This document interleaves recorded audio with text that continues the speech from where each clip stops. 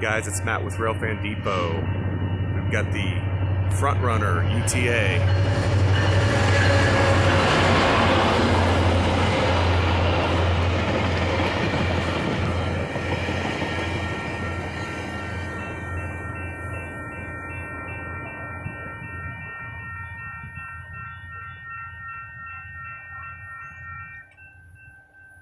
We're in Lehi, Utah. Thanks for watching, guys. I know it was a quick video, but there wasn't much of a train there.